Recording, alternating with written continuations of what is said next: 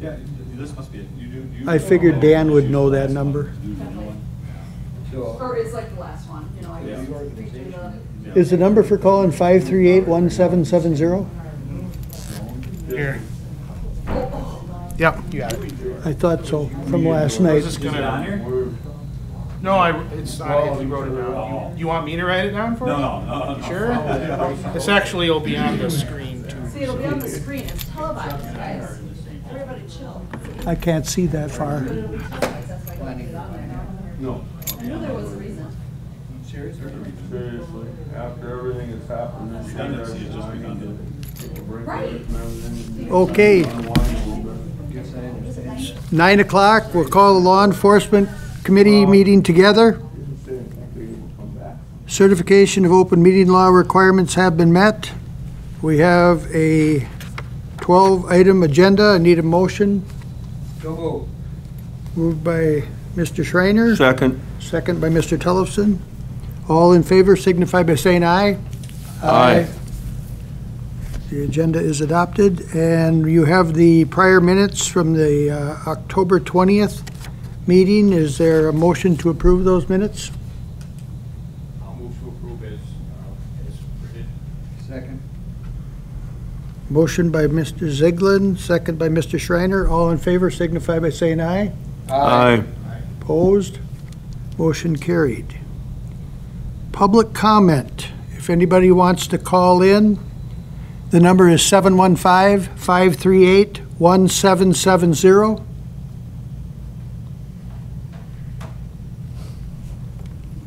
Or if there's anybody here for public comment?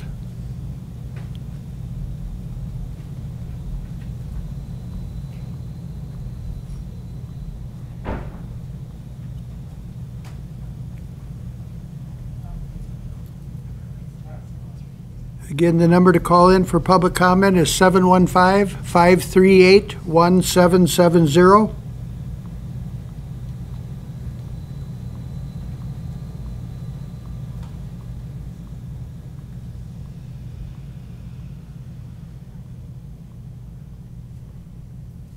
We'll give them just a couple more minutes to call.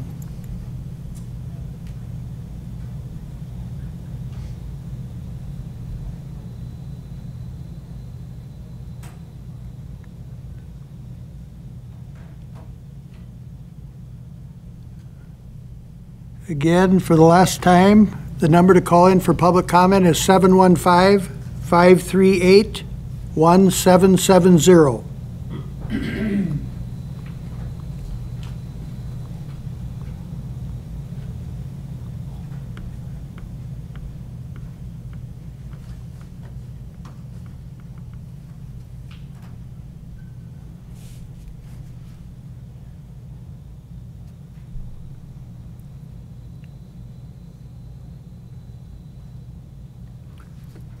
Okay, we can move on to item six, better laws for outdoor dogs. Becky Scholze and Ann Torgerson. Uh, that are at the podium.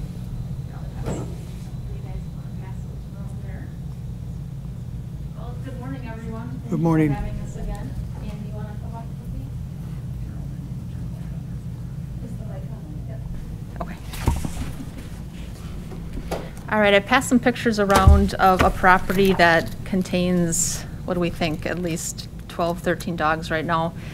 Um, Ann's experienced this property for the last 20 years, and they've had anywhere from 10 to 20 dogs on this property that are permanently chained, and um, the conditions aren't great over there. Uh, I know Ann has talked about it last meeting. Um, I don't know if you want to say a few more words about it, like what you're seeing and Um, well, it's across the road from us, and uh, the property connects to a field. The property connects to a field that we own, so, um, and we hear the dogs, when we're outside and we're talking or whatever, the dogs bark, they hear us, they're lonely, they're sad. And if we drive over in our field, we can see what you're seeing on these pictures that are getting passed around. And we did drive through the field last week, and it looks like the same situation, maybe more dogs. Um, In some of those pictures, you can see that the dog houses, one has a broken back on the dog glue, where you can see light through. Another one has, um, where the roof and the wall connects, it's open, so the dogs aren't getting um, adequate shelter. I do have um, some wording on an ordinance that I want to pass around as well. During the winter, they're out in these uh, ramshackle houses or plastic, you know, when it's 20 below, and I'm sitting in the house with the TV on, and I can hear the dogs barking day, night, middle of the night, whatever. Um, I have called the um, Trempealeau County Sheriff's Department, Town of Ettrick, zoning. Uh, All the neighbors are aware of the situation. The only time I've seen the dogs loose is when they've broken free from their chains. And um, one in particular was uh, in a fence wrapped up with its chain. My son um, got it loose. Another one, approximately 10 years ago, was the chain was wrapped around a buck's horns on opening morning of deer hunting. Another time, they've been at our house multiple times when they get loose. And the neighbors who are in their 80s and 90s, sometimes the dogs show up up there and they're real scared because they don't know what, what to expect. So we're asking that shelter be windproof and waterproof um, with dry straw in the winter to keep them warm. Um, Straw is great because it doesn't mold when it gets wet, it dries. Um, It will have four walls, a roof, and a solid floor that is at least two inches off the ground, and that protects the doghouse from getting running water into it when um, the snow melts. We're asking that single-coated dogs cannot be left outside for longer than 30 minutes in temperatures below 32 degrees. Um, Right now, it's starting to get colder. Single-coated dogs have a harder time keeping warm in our really severe Wisconsin winters. And we're also asking that an animal cannot be tethered as a means of permanent confinement. An alternative would be a large enclosure or fenced-in area. And If you guys have any questions about the wording, Uh, Ron, I have lots of questions. Sure, go ahead, Tim. Um, Well, first of all, um, I missed your earlier, your presentation last month. I I got mixed up on the time, so I arrived late. Uh, So I'll introduce myself. I am Tim Zeglin. I'm one of the members of this committee. And I- I'm just guessing from the names in front of me, are are you the lady in the black blouse, Becky Schultz? Schultze? yes. And you are Ann Torgerson? Um, And gentlemen, if I monopolize this conversation, be sure to jump in, and tell me I'm talking too much, right? So I have, I, I I have to get caught up. Um, The, um, I'm, I'm I'm kind of unclear about what's going on here. Are you asking for a change to an existing ordi- ordinance? Are you proposing a change to an existing ordinance? Um, Right now, the state statutes are pretty vague, so we want to add in laws that actually protect dogs here in the county. Is, and you mentioned um, that you had contacted the sheriff's department in the past, and the sheriff is here. Um, And the pictures you just passed around uh, might indicate that, I don't know what the existing ordinance is, but it might indicate that the uh, conditions are such that, that the owner is already violating an ordinance. Have you talked to the sheriff about enforcing an existing ordinance rather than trying to change an existing ordinance. It would be easier, I think, or more practical, I should say, to enforce something that exists. So have you contacted the sheriff? When the sheriff's department was out multiple times, um, the officers stated that as long as there was uh, dishes for food, water, there was shelter, and the vaccinations were up to date, even if the situation out there was, or anywhere, was disgusting as it is, um, there was nothing to be done because of the way this reads. Right, Wisconsin state statutes say as long as an animal has food, water, and shelter, that they're being properly taken care of. Um, What we're asking is to add on to that shelter what shelter actually means, so they're actually protected, because like in those pictures, you can see some of their shelters aren't adequate enough to keep the wind out or the rain out. If we were going to vote on a change to a county ordinance, we would need, we would need to see the ordinance. I, I'm not sure where you got this. Um, but- This is but some, yep, that's what we put together as something we're looking for, for the county. The, the, uh, sheriff? Uh, First of all, normally I'd have my computer down here so we could find, so I could look at the ordinance. We- you're right, we should have the Uh, I- I'm- ordinance here. I- I'm, I'm, I'm caught a little bit off guard here. I didn't realize that the discussion was going to head towards what my department has or hasn't done. Um, But I can say that uh, our animal, um, our humane officer has been involved in this. She was at the last meeting as well. She has talked with uh, um, the folks that are, are trying to um, make things better for the dogs around here. And to the extent that the ordinance is written in state, written in state statutes, it's my understanding that um, they are conforming to what is currently written. And um, the- the, um, Ms. Torgerson uh, and Becky um, is, is, they're just trying to define some things that, you know, when you read statutes and ordinances, a lot of times they're dependent on who, how the reader defines certain words in there. And they're just trying to, to maybe define some things and maybe, um, um, whether, the- whether the definitions are, you know, state approved or not, they, they want them defined the way they think, um, um, based on their experience in, in talking with others, that the statute or ordinance should be interpreted. And, and I think that's what they're here for today is, um, they, they haven't contested to me that our department hasn't done what we're supposed to do. I think we have done that. Um, we have found that it meets the current ordinance and current statutes. So, um, but like I said, I don't have the computer in front of me, uh, to be able to look at how our current ordinance is written to see how this would be different from that.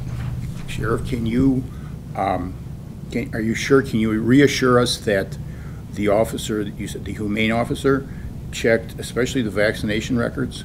Because I know in my, I live in a different part of the county, but um, unvaccinated dogs are widespread.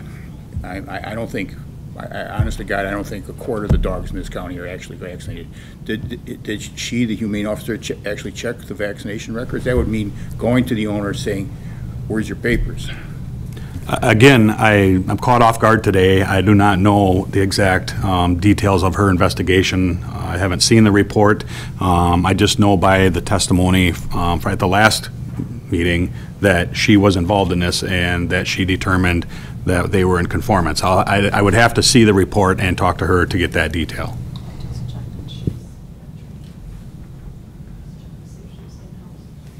So I would suggest you ladies, if you want to actually, there, there might be something you could do.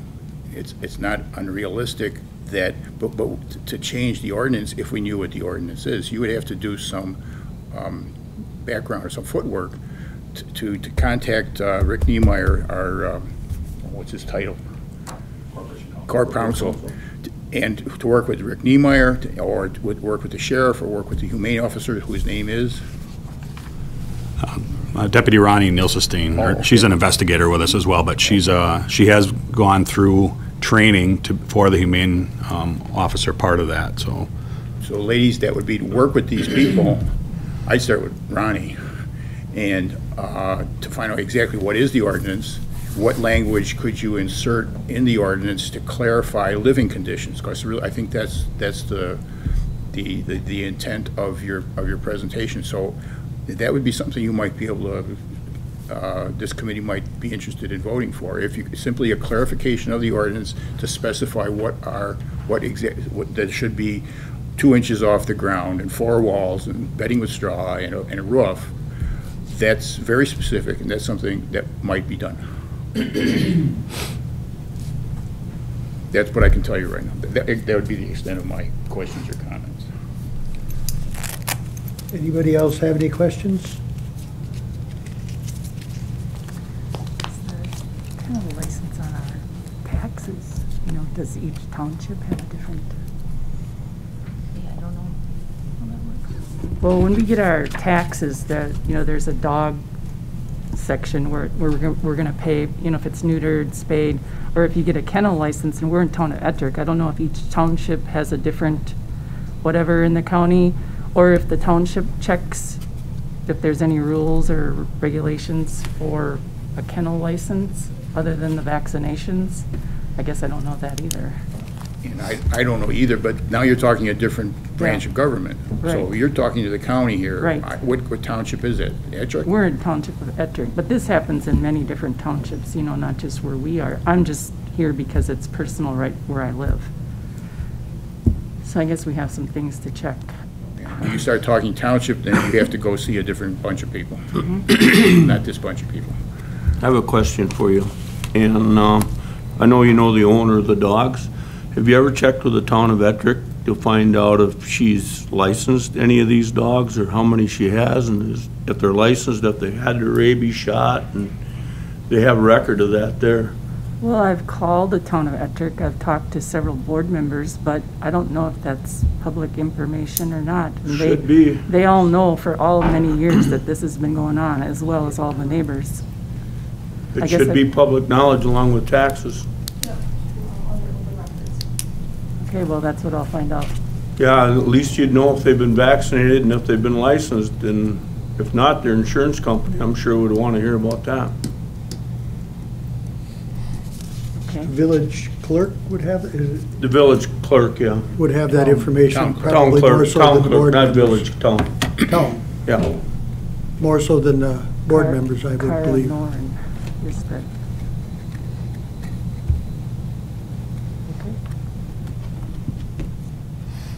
That's all I have, Ron. And ladies, that's all I can, s- but you, that's something you could do and come back to this committee.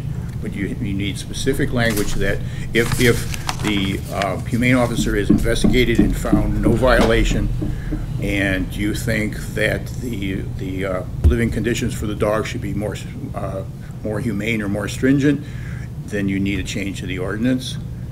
But we change ord, it, it's not impossible, it's something that we could do. And it, then you'd give the officer something to work with. I mean, if, if this is all, if, if this person is within the law, then there's nothing the sheriff can do. Right. And that's what we understand, and we're trying to change that. Okay.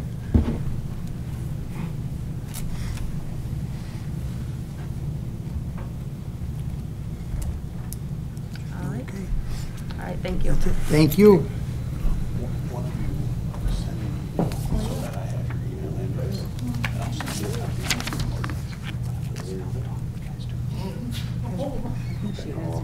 Maybe, okay. Do you have my email address? Okay, all right, sounds good. I'll send I'll send you I'll send you a copy of the current ordinance. and I'll I'll get together and talk. All right, thank you. Item number seven, Child Support Agency Director Retirement, Renee Lyon. Good morning. Good morning. Yes, you do. It's the only time I can get away to telling her what to do. Ronnie, do I have to go up there? Yes, Ron. You trumped him today. Okay, so I'm happy to announce um, that I'll be retiring at the end of December. December twenty-third will be my last workday. It's been a very fulfilling job. Um, I feel very fortunate to have worked for the county this long. But I just wanted to touch base with you, um, not this long, over the years. It's been a a wonderful experience. Yeah, strike this long. In this position, it, it's great. I, it's, an, it's a great opportunity. And I, and I actually think a lot of the people in our, in my department, probably all of them feel that way too. They really believe in the, in the agency. It's a, it's a very special agency in my mind. So, um, just to touch base with you, how I'm leaving and trying to help the next director uh, get some footing uh, as to what to do next. There's a lot of red tape responsibilities with the state. um, And so I'm preparing uh, administrative outlines for the next person with instructions from the Bureau of Child Support and as well as um, policy that we have received from Corporation Counsel over the years.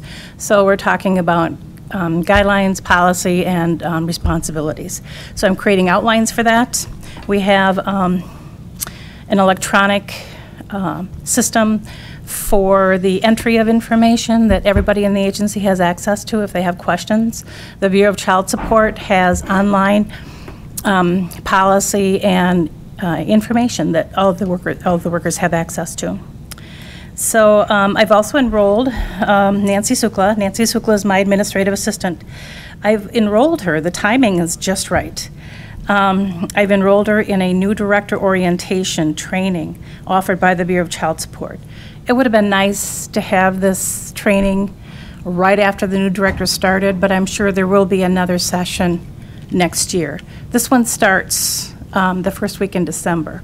So Nancy has been the administrative assistant, and a lot of focus on this training will be for the the requirements that the director is going to have with the state of Wisconsin, reporting, um, budgeting, um, uh, reimbursement of expenses, that kind of thing. So she will be going to that, and um, it's four hours, four, four hours uh, for three days. So we've got a total of 12 hours. It's going to be pretty intense.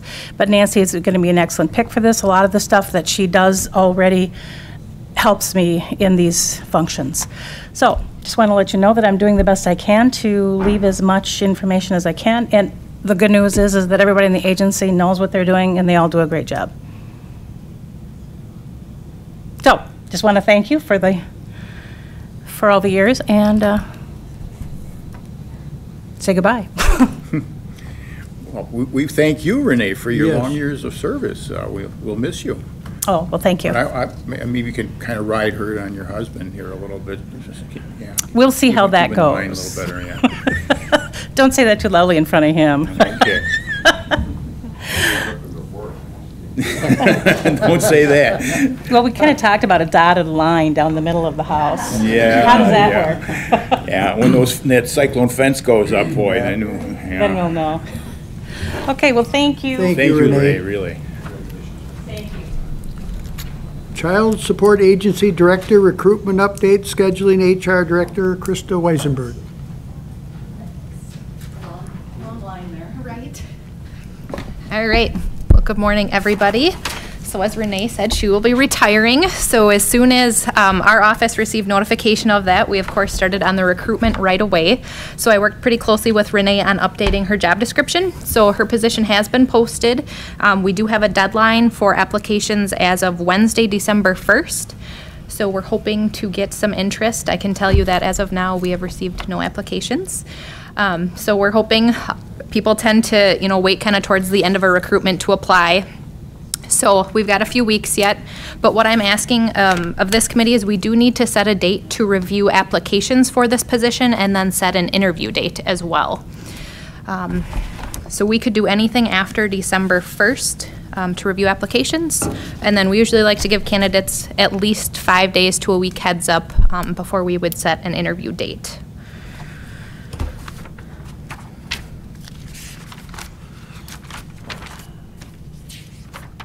So I'm not sure what everyone's schedule looks like here coming up. Are you talking about a date separate from the regular monthly meeting? Correct. Carol, do you know what the next monthly meeting is, what the date would be? What's the earliest your office can start looking at this? We could review applications right away that Thursday, the 2nd, if that would work. I'm good. I'm okay with that. I'm good. John, do you know when Okay. uh, exec It'll have finance be. will be in December? The sixth? Okay. Yep, that'd be the first. The 2nd is uh, Thursday. Any particular time? I look to be open all day that day. I I like the earlier the better, before the day has a chance to go to hell. Yeah, I, I do too, but Ron, are you, are you constrained by your job? Well, it would, for me, it would be better to do it in the latter part of the day. Let's do that. What's, What's the latter part of the day mean? Four o'clock. Holy shit. That's latter, all right. I'm okay with that. Okay, well, I can do that too. 4 o'clock? That works for everybody? Yep. Okay, so we'll plan on December 2nd, 4 o'clock.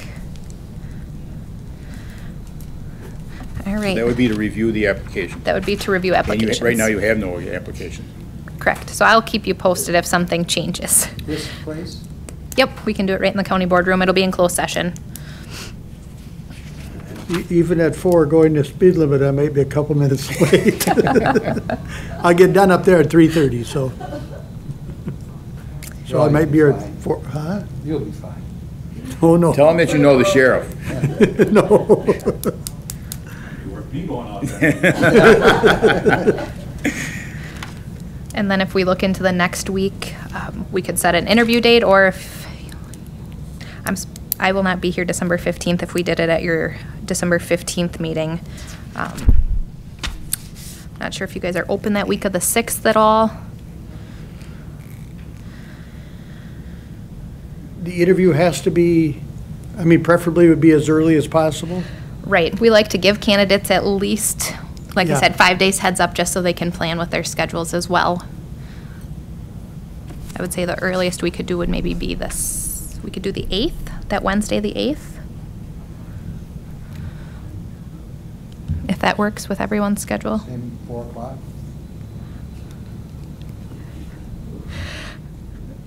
Four thirty? No, I, f- four, but I don't, I mean, I don't want to be the only one. Well, it's too late. You are the only one. I- We make, we make some, a lot of, we stretch a lot on the other end for Chuck uh, Yeah. Wallach. I, I can, that's okay with me, too. Okay. I was just looking, I know in December we got vacation for Christmas, but I think that's going to be pushing out a little too late. That's Oh, why I was asking That'd about it. probably be closer, actually closer to Christmas. So what was that, December 8th? It would be Wednesday, December 8th, and then at 4:30, Ron, you said Four. would work? 4 o'clock, okay. Yeah.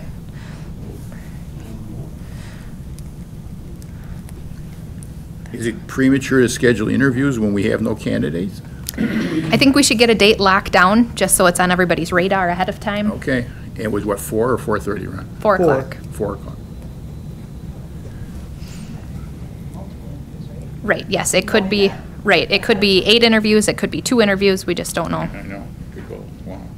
So we'll know more too at our December 2nd meeting. If we need to make changes, we sure can. But this way, everybody can black out their calendars ahead of time.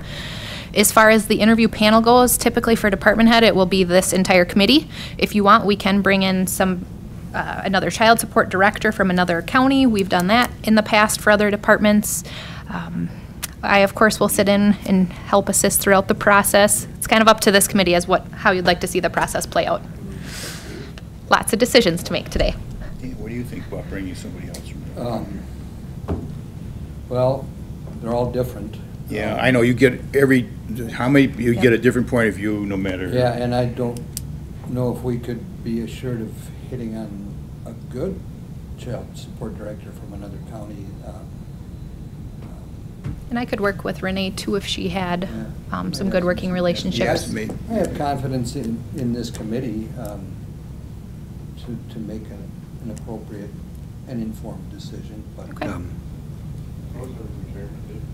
Uh, Her last working day is the 23rd.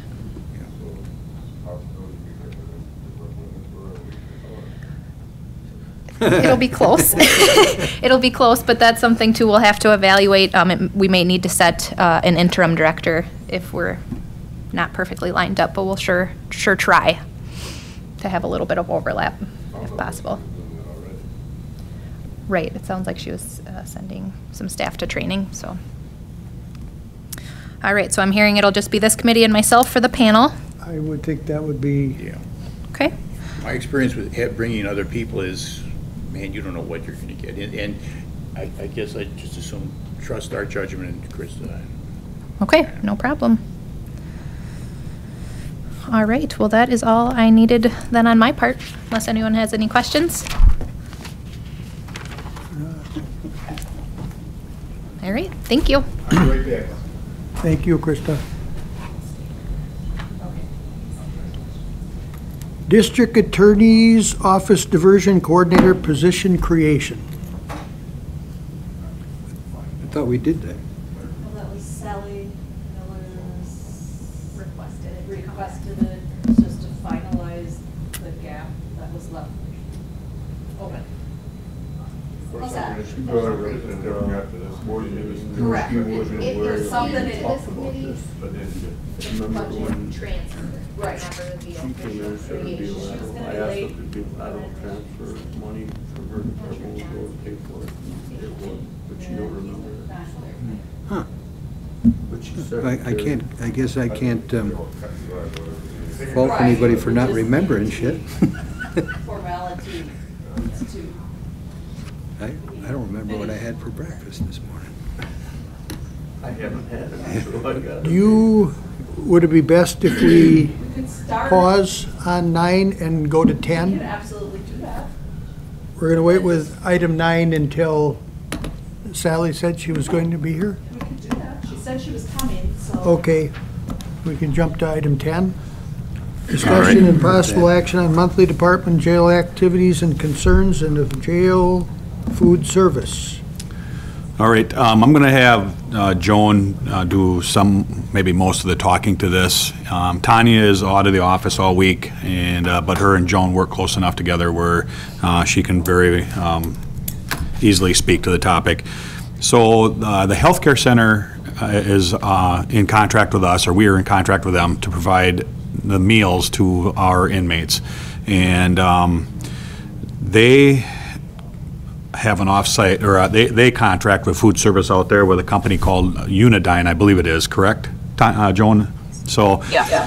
Okay, so, so over the last um, year, two years, I'm not sure how long they've been with Unidine, but we've been noticing some, uh, what I think are pretty significant issues with our food service up, up in the jail. And I have just recently, um, I did have a conversation, email conversation with Lori Glonard at the Healthcare Center, and um, we're going to arrange where uh, Jerry and, um, and Joan and Tanya and I can sit down and talk about these issues. They assure us they're having the same issues there with the same company. Um, But uh, anyway, I'm going to, I'll just have Joan talk about some of the stuff you see in front of you, so go ahead, Joan. Um, just kind of an overview, um, they are required to serve us two hot meals per day and one cold. So usually breakfast is cold, it's, um, a bowl of cereal and and usually a cereal bar, and then lunch and supper are hot. Um, so kind of some of the the problems we've been having is that, is we are experiencing a lot of food shortages. Um, Sometimes there's just not enough, the portions are very small. Um, they forget to send a snack, there's a snack at eight o'clock at night. Um, oftentimes we have to call for, um, extra food and end up waiting for it. And some of the other problems is the quality of the food. Um, we've had cases where the bread's been moldy, uh, the potatoes have been hard, sour milk, unbaked cinnamon rolls, you know, frozen breadsticks, uh, you know, think carrots are hard, this, at one occasion, the french fries were green. Um, so in a lot of cases, there's problems with the temperature of the food. Um, sometimes it's not covered properly, they use plastic wrap instead of having something sealed. A lot of times the soup or the chili ends up being spilled all over the food cart when it comes to the jail. There's been a number of this occurrence happening. Um, we've had cases where there's been foreign objects in the food such as worms or air. We receive bruised apples. Um, I've noticed lately too, they've been serving more sandwiches, which doesn't meet our requirement for the two hot meals. And when they do serve the sandwiches, they just send over a loaf of bread and then the cheese and the meat, and our cooks have to put the sandwiches together.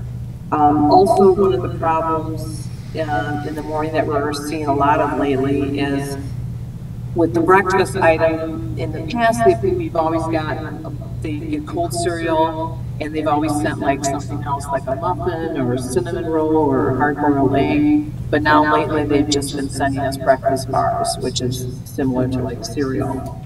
Um, so in, in all of these occurrences, we do let them know what happened, and usually I send them an email and ask for them to correct it. Um, we did meet with them in January of 2020 and went over some of our issues and our concerns, but they're still occurring, so. So as a, as a uh, possible remedy, I do have a on-site food service company coming here to meet with me and the jail staff uh, in the next couple of weeks to determine if our current kitchen up there is capable of preparing meals on-site and to uh, talk about the cost of doing that. So um, again, we'll, we'll talk with uh, Jerry out at the healthcare center and, and see if there's any remedy. Um, But in the meantime, I'm going to be looking at that other option too. And I'm, I'm just bringing this to your attention today. I'm not asking for any action on anything, so. Go ahead, Dan. Um, What are the plans for food service in, in the new facility? Uh, The new facility will be fully equipped for on-site food prep. Um, It will be the the decision of this committee, for one, on whether or not we want to move to on-site um, service there. Uh, We'll have to have some, you know, cost estimates, but um, my plan is, um, once we get that many inmates under one roof, um, it would be um, best to have the food prepared right here and served, so. And um, at capacity, what is the inmate number going to be at the new facility? If, if we were at full capacity, 78. Well, six, 80% of 78, yeah. 80 or Yeah. 85? Uh, I believe it's 80, um, but, but that's, um, you know, we're expandable up to 98 as well, so that number would go up if we ever had to add those additional beds, but, Um, My assumption is the DOC um, has regulations on what you feed your inmates. so, so. Is this in violation of uh, DOC regulations?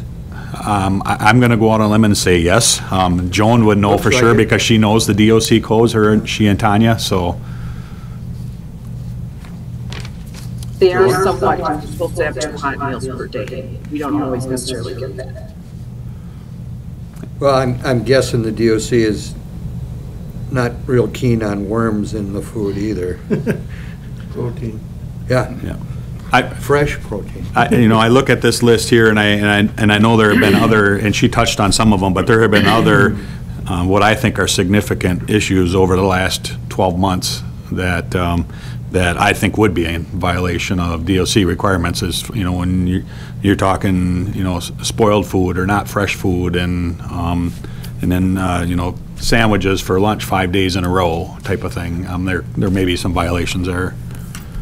My um, additional concern, other than the obvious, is that um, the provision by this company is exposing the county to liabilities in that they're not providing what's required. So, um, Or what we're paying for. yeah. Um, And, of course, the inmates' um, nutritional health is first in my mind, and uh, that's what we have to concentrate on. Um, I suspect that the DOC is initially going to hold the county responsible, because initially, and the county is responsible. Um, So I, I don't know, I think we need to kind of fast-track this and get it taken care of. I agree. And, and, and that's why the food service company um, was, is, you know, deer hunting kind of slows things down, but if we can fit it in here in the next week, week and a half or so, um, I'm, I'm going to meet with him and, and discuss that. He's very quick turnaround with numbers, so. Where is this group from that they are contracted with for the food? I, I don't know where they're from. I don't know. What are they called? U- Unidin or Unidine? Unidyne? Yeah. I have a have a question, Ron. Yes. Um, I'm I'm not sure what we're talking about, but, so I'm going to back up a little bit just to, so I'm certain about what we're, what we are talking about. So the f- current food service is the same as the healthcare center, and we actually get the food from the healthcare center, is that correct? Yes, it's, um, I believe that company prepares it on-site out there, and then they deliver it And to they us. bring it, bring it here. Now, I know, I'm pretty sure that the healthcare center changed, ven- vendor is the right word, uh, might be six years ago, eight years ago, anybody remember? Because they, they used to prepare everything on site, and now, then they, they privatized or whatever, they got another company to come in, so I think there was some um, dissatisfaction with that company initially, and that's maybe six or eight years, I don't know, six years ago at least. I mean, I, I can't speak to that. I know they have, they, I, I believe they built a full kitchen out in the, in the new healthcare center, and they utilize that for preparing food, is the way I understand it. So, but I don't know if it's the same company now as it was then. So if, if the, um, the, you, the sheriff's office would then uh, break with the healthcare center and say, you take care of your people, we're going to take care of our jail inmates, and we're going to use this company. That's, that's, that's the tentative plan?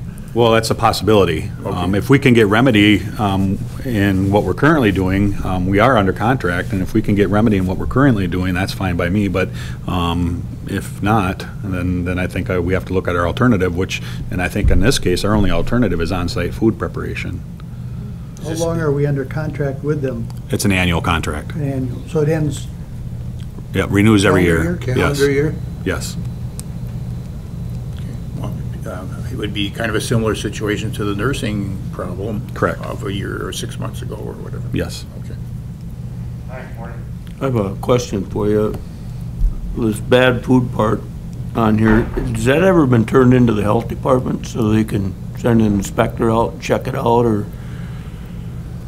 I don't believe so. Um, uh, Tanya and Joan uh, constantly uh, communicate back and forth with uh, Unidine and to try to correct these, and hopefully they don't happen again. Um, I think if it was a repeated worm in the cereal thing, uh, at that point, it may be a message that we would want to send to the health, to to the health department. Um, Or But even raw chicken and things like that, those things should be, there should be a list if they constantly have an issue. Uh, that- Whether, whether, you you might be right, um, whether, would that be, uh, whether that's on us to report to the health department or um, the healthcare center, since they do the contracting with this food service. Our contract is with the healthcare center, not with Unidine. Right. So, um, but it probably would be worth a conversation, I guess, if it's, especially if it's something that's repeated. So- Yeah, it looks like the dates and stuff on here are kind of spread out, so it isn't all happening in the same month. Correct. A bad batch of food or something, it's kind of widespread, so. Yeah. I couldn't give you a definitive answer on that today, Okay. but Well, it's certainly just- something to think about, I guess. Yeah. Yeah, that's another avenue. One more, Ron. I'd just like to thank the sheriff for bringing this to the committee's attention, and I'm sure you'll have, uh, I'm sure you'll follow through and find a solution, and I'm sure you'll have the committee support. Thank you. Is this something that can wait till our December meeting? If you find out something, I mean, anything before that, you could bring it on the 2nd or the 8th? Yes, I believe so. Okay. Yep, yep. It- it- I probably wouldn't have any definitive number, numbers before then anyway. No. So we would just hope that we could continually, um, see, when, when, when, a- when an issue comes in, um, the staff addresses it with them right away, and they usually fix it that Right. day. I mean, they'll, if they're short, they'll bring more food, I believe, and if, if uh, something is bad, um, you know, they, I believe they'll replace it, so, um, but we just can't keep working like that, so. Okay. Any other questions? Okay. Questions regarding monthly vouchers?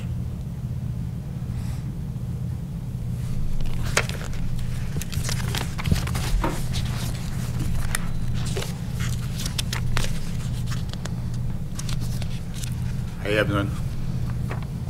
When I, and I looked through it, I didn't see anything that would maybe cause curiosity there. No other questions? Discussion of general operations. So just a couple jail numbers for, for today. Um, For the month of October, um, our average daily population was uh, 30. We did have, um, at the beginning of the month, we were averaging nine out of county at a time. Um, At the end of the month, or excuse me, 11 um, in the beginning of the month. At the end of the month, we're at nine averaging out of county. Uh, All those numbers are very similar to uh, previous months. Um, the, uh, you know, just the one note I would say here is, uh, you know, our COVID medical observation instances in the jail still remains very high. Uh, Through the month of October alone, uh, 60 um, um, newly incarcerated or currently incarcerated individuals um, had to be isolated um, because we didn't know. Six zero or one? 60, six zero.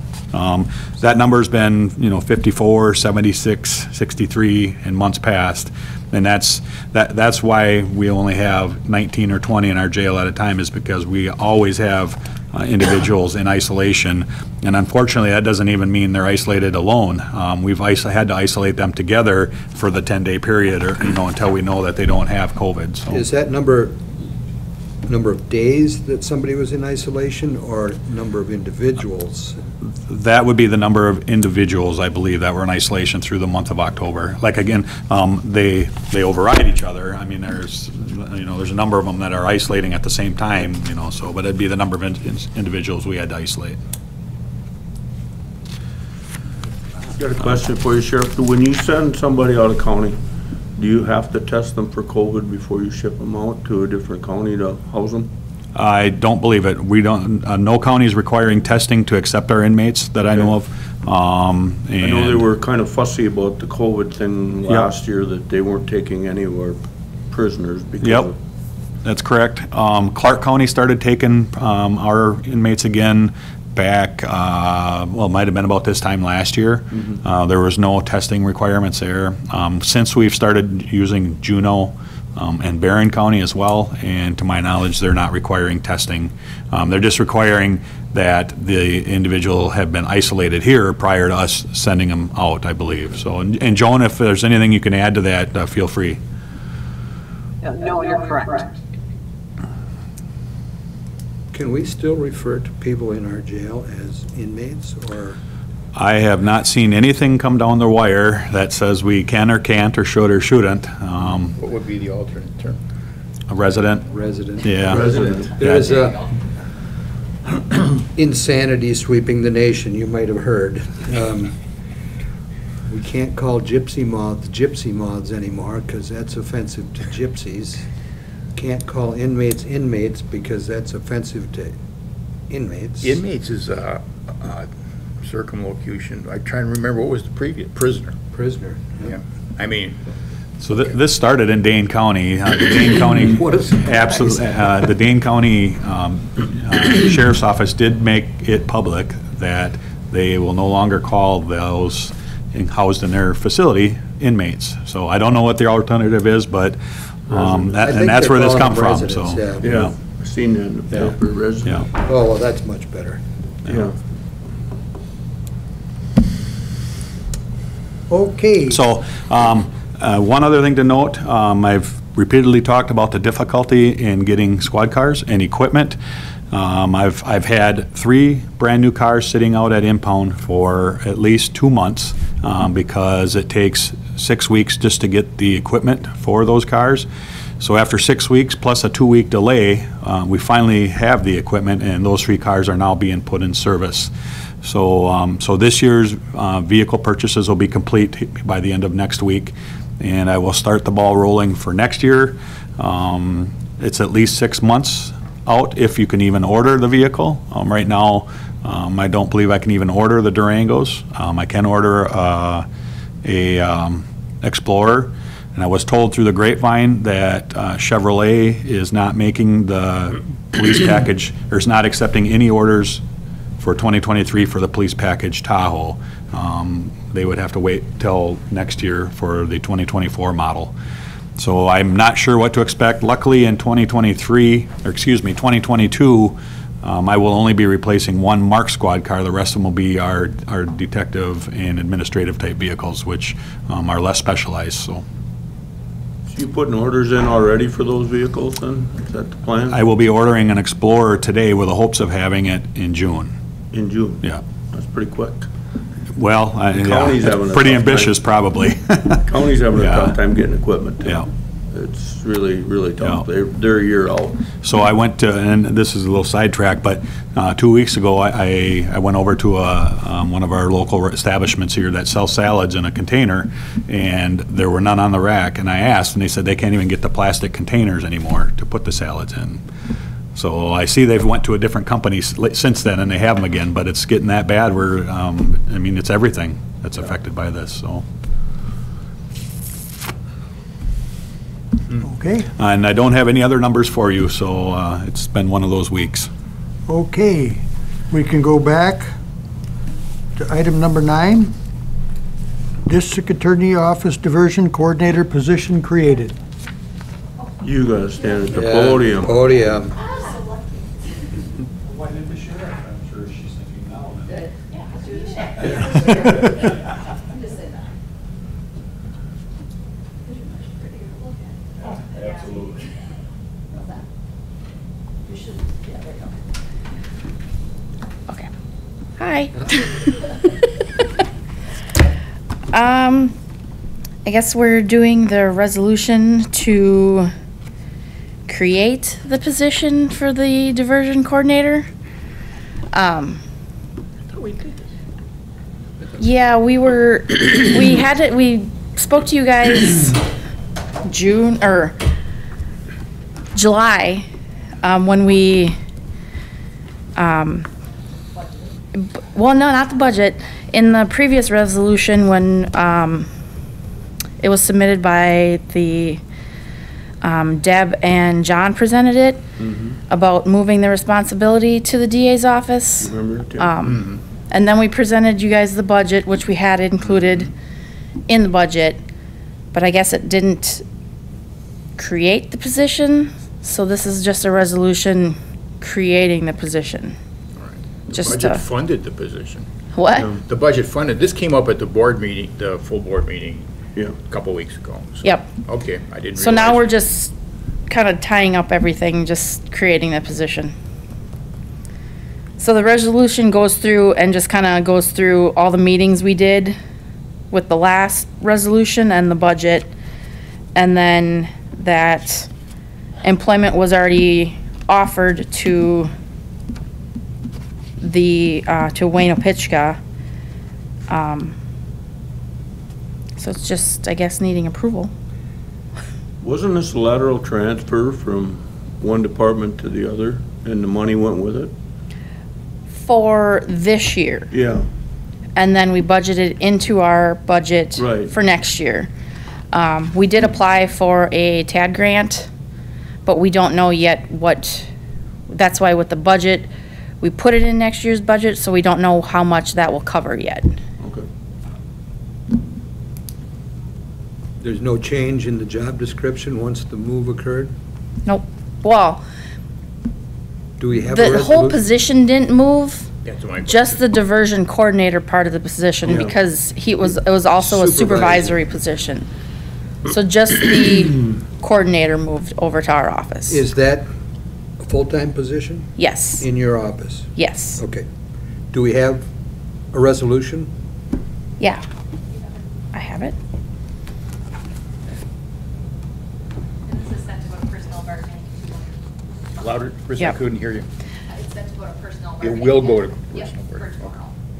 I don't know. I only had one copy because I didn't realize that we were at a meeting today. Can you pass it around? Yeah. Because um, my assumption is you'll need a, Signature. and and a Need vote. motion. We'll need a vote first Yeah. before we do any signing.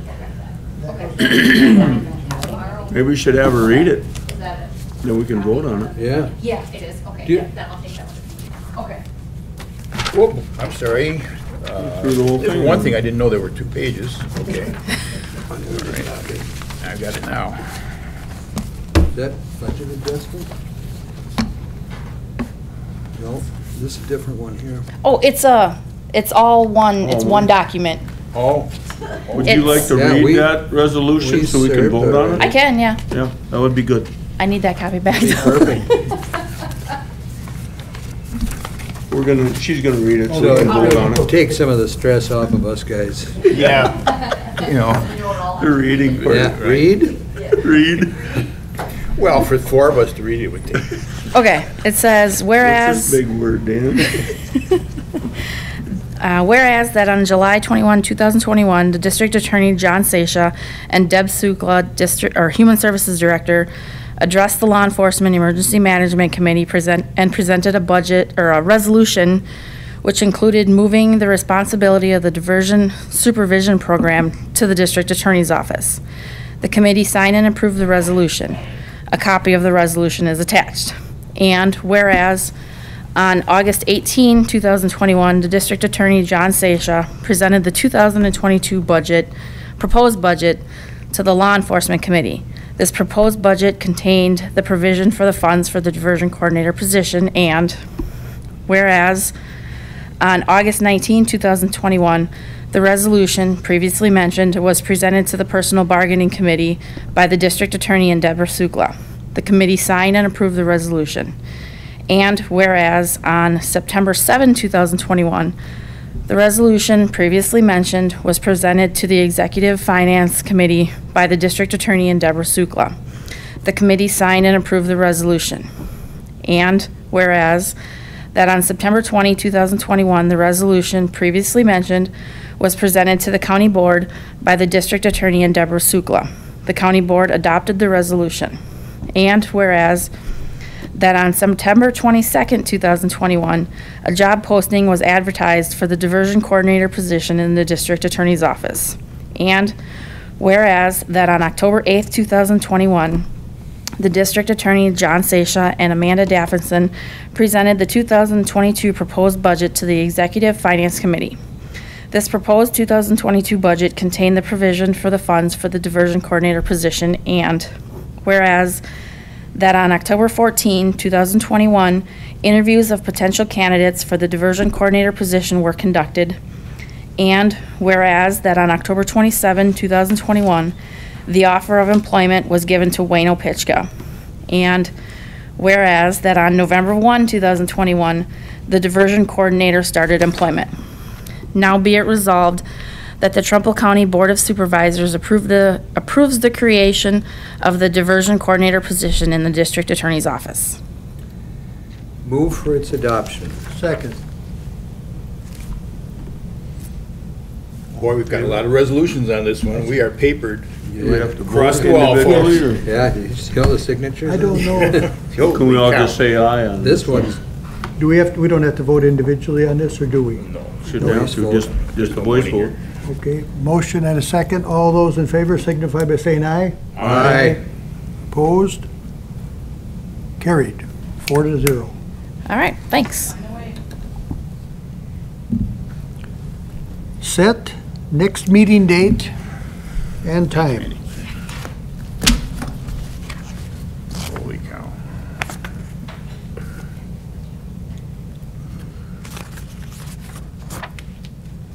We have a, usually we ask Brett when he's here, I guess. He's not here, good luck, thank. He did. 15th is our normal meeting date. Yeah, there's so many papers. Yeah. Thank you. Yep. Yeah, it's just kind of all the impact to us. December second is what, is the, would be the next meeting date to review applications. The second and the eighth we have set, but, Yeah, is that- yeah. but for the regular meeting, I'm gonna put that in here. Yep. I can send you my, Send me language for that, yeah, so they, they have that. So you're gonna use one of the two dates, the second or the eighth, or? I don't think we can if we start at four, can we? We'll try four, so you don't want to. Oh, that's true. Do the fifteenth Fifteenth? at nine o'clock, Yep. Okay. All right. fifteenth? We'll do nine o'clock. Oh, okay. What day of the week is that? Nine o'clock? Wednesday. Wednesday? Adjourn? Nine o'clock? Yes. Wednesday? Does that work Okay. all right with everybody? Yep. Yep, that's fine, thanks, Ron. Okay, December fifteenth at nine, plus we also have December second at four and December eighth. And I'm going to have, um. Chris Big is gonna dollars send in me back December, boy. what- what those Just in extra time date for are Christmas. attached Yeah. to the minute. Okay. Add 'em Okay, As a reminder to you guys. so they'll be on the December calendar, you- you're saying? I'm thinking I might just send you out something. Okay, okay. Yeah, a couple of days in advance like you do with the regular meetings. Yeah. Nothing I else. think I'm gonna add them to my thing, and then I'm gonna send them out, like, end of November-ish, just as, uh, email reminders. Yes. For those Page dates for two. you guys. Page Yes, two. So if you choose not to, look at your emails, that's your problem. Or I might call you. Because I know, Tim, you check your email. Yes, I do. Once in a while, I check mine. I check mine every day. I check mine every day. I was Okay. checking mine yesterday when I was waiting for the meeting to start. For the meeting. Yep. Thanks. I'll try to do You better. want to take the pictures with you? I don't- Uh, well, I- Oh, and by the way, I don't know who she may be meeting next. adjourned. You know, that's got to be really frustrating to the uninitiated. Oh, with The this, fact that you've got, oh,